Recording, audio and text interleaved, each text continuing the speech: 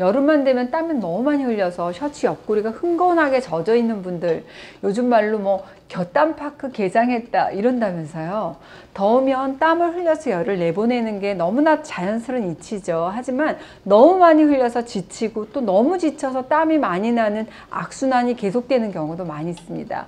이럴 때는 땀이 나가는 구멍을 잘 열고 닫는 본초 로 탕차를 끓여 마시면 좋습니다. 오늘은 땀이 나도 너무 많이 난다, 기진맥진하다 이럴 때 끓일 수 있는 탕차, 환기차를 소개시켜 드릴 겁니다. 제가 먼저 계량을 해놨는데 물 1리터에 환기 40g을 넣고 센 불로 한 15분 정도 끓이다가 끓으면 줄여가지고 약불로 한 10분, 20분 정도 적당하게 끓여주시면 됩니다. 기혈이란 용어 많이 들어보셨죠? 기와 혈.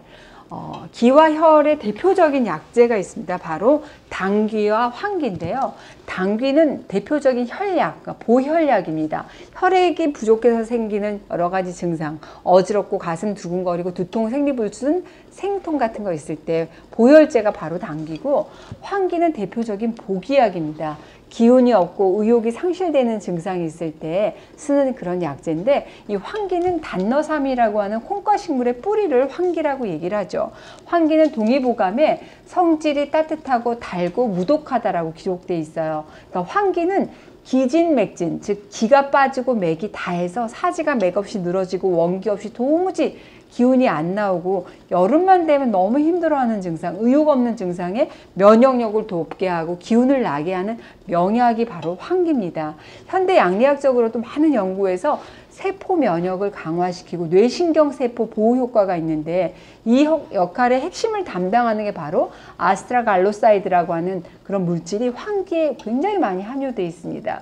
실제로 그 astragaloside는 그 많은 임상에서 뇌세포 손상에도 효, 아주 굉장히 좋은 효과를 내는 것으로 임상 사례가 많이 보고되고 있을 정도예요. 뿐만 아니라 황기에는 조혈 작용, 그러니까 적혈구, 백혈구 조혈을 촉진시켜 주는 그런 작용이 있고 저는 개인적으로 왜 환자들 중에 많이 피곤하기만 하면 막 구내염이 재발되시는 분들 계세요. 이런 분들에게 약 처방을 할 때 빠지지 않고 등장하는 약 제가 바로 환기일 정도로 항바이러스 효과가 대단합니다. 애들은 잘 안 먹으려고 하는 애들도 있죠. 근데 이 환기를 이렇게 썰은 거를 꿀에 약간 볶아서 밀자한다고 얘기를 하거든요. 이런 환기는 약간 달달하고 맛있기 때문에 애들도 여름 타고 기운 없고 막 그 식욕 안 돋고 힘 많이 없을 때 많이 써주면 좋고 사실 환기는 최근에 식약처에서 아이들 키 성장에도 도움이 된다는 약초로 인정을 받았죠. 여름에 기운 없을 때 먹는 우리 삼계 탕에 들어가는 게 뭐죠? 닭, 인삼, 환기죠. 인삼하고 환기가 대표적인 보기약입니다. 보기약의 대명사가 인삼 여기 있는데 인삼과 환기예요. 근데 인삼하고 환기의 역할이 굉장히 달라요.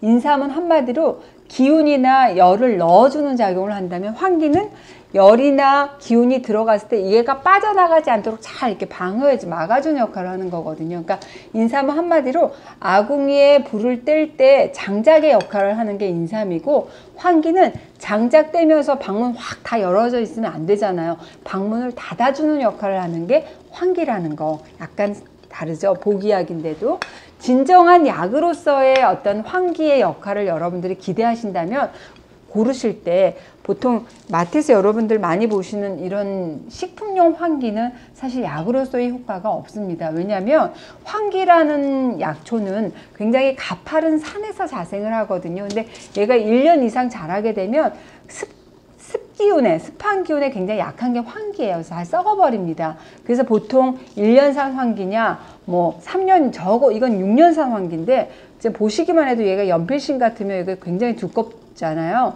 6년산 환기, 3년산 이상의 환기가 약으로서 약효를 기대할 수 있어요. 그래서 6년산 환기는 사실 인삼만큼 좋다는 그런 얘기도 있잖아요. 6년산 환기와 1년산 환기의 차이를 여러분 좀 아셨으면 좋겠고 일반적으로 보는 환기보다는 훨씬 더 두껍죠. 그리고 좋은 환기라고 하면 일단 색깔이 밝은 색깔 띠고 좋은 향과 이게 씹어봤을 때 단맛이 납니다. 근데 오래 묵힌 환기는 누렇고 나무 막대기 같은 형태의 맛과 향이 거의 없는 편이거든요. 그래서 기운 없고 식은 땀 많이 흘리는 분들, 가만히 있어도 땀 줄줄 나는 분들에게 환기차가 도움이 될 수 있어요. 하지만 기운이 너무 막 남아서 돌아 도, 도는 분들은 사실 이거 너무 많이 드시게 되면 오히려 가슴이 답답한 증상이 생길 수가 있으니까 주의가 필요하고요.